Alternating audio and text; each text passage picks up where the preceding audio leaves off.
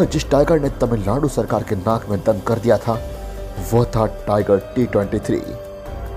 पर एक चीज़ मैं हाईलाइट करना चाहूँगा, जब भी किसी टाइगर ने अपनी मैन ईटिंग जर्नी शुरू की, किसी ना किसी मजबूरी में की।